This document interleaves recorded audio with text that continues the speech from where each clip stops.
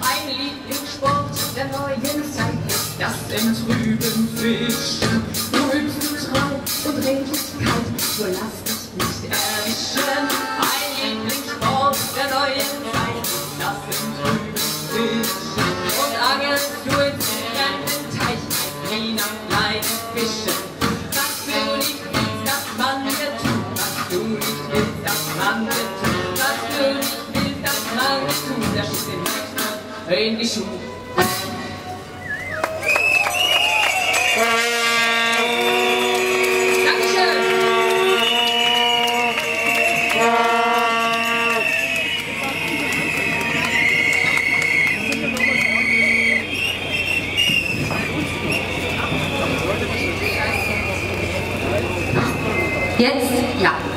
Vielen Dank für den wunderbaren musikalischen Beitrag. Wirna Heuken, Heike Rücker und Thorsten Grill.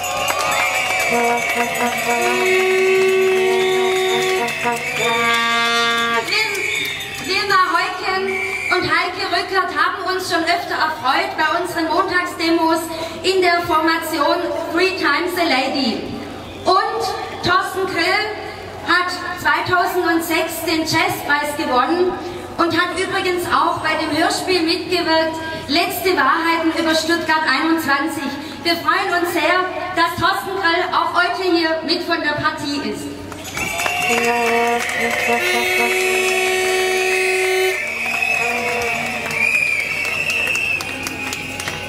Liebe Bürgerinnen und Bürger, liebe Freundinnen und Freunde des Kopfbahnhof 21, wir freuen uns, dass Sie auch heute wieder so zahlreich gekommen sind, zu Tausenden trotz Regenwetters aus Stadt, Land und Region. Herzlich willkommen im Namen des Aktionsbündnisses bei unserer 52. Montagsdemo hier am Bahnhof.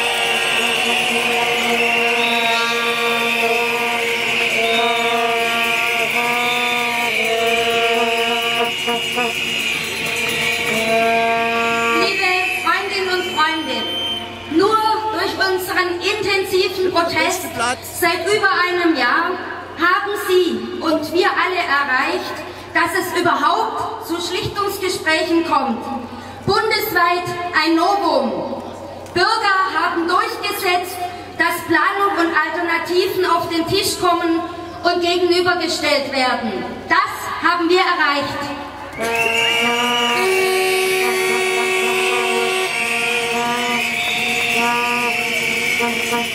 Und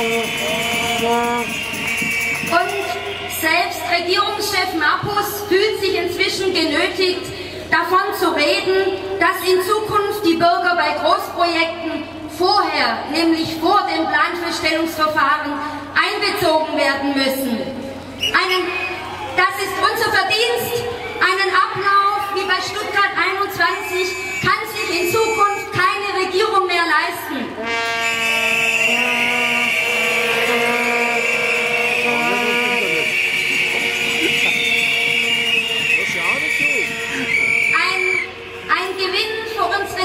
Demokratie im Land, das haben wir bereits in Stuttgart für alle erreicht.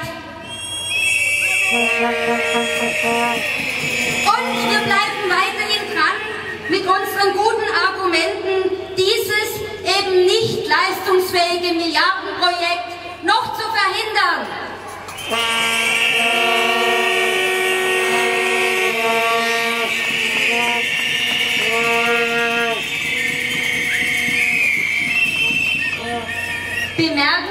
Heute die Zukunftspläne der Bahn, heute zu lesen in den Stuttgarter Nachrichten, will die Deutsche Bundesbahn in bundesweite Fern Fernbusliniennetze investieren und zwar mit Billigbusangeboten, mit unökologischen Billigbusangeboten.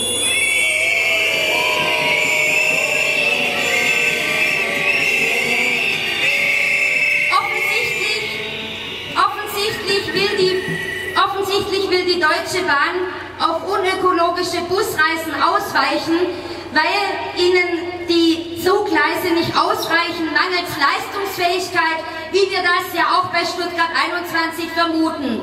So kann nicht die Zukunft der Bahn aussehen, liebe Freundinnen und Freunde.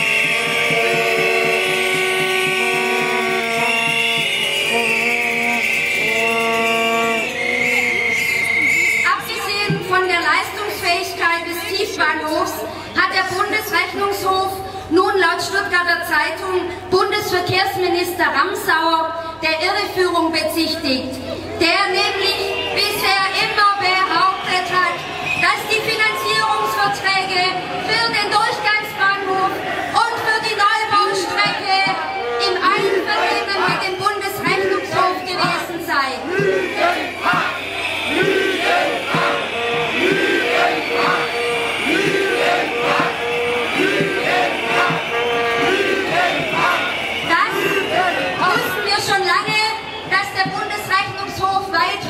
Kosten errechnet hatte.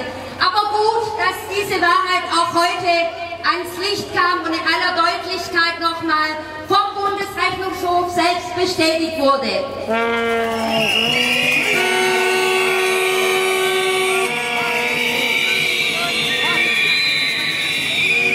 Dann habe ich vorhin gesagt, wir bleiben dran mit unseren guten Argumenten und deshalb wird jetzt Hannes Rockenbauch vom letzten Schlichtungsgespräch am Freitag berichten. Hannes Rockenbauch.